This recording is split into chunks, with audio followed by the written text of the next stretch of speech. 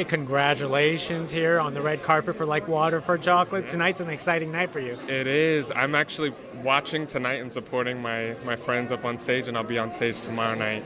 Oh, tell us about the role that for tomorrow night that you're playing. Yeah, so I'll be playing the role of Dr. John Brown. He's, um, you know, this sort of the savior at a, at a moment for the, the lead character Tita when she just has a broken heart and falls apart, and um, he kind of comes in and heals her heart and um, ends up mar- wanting to marry her.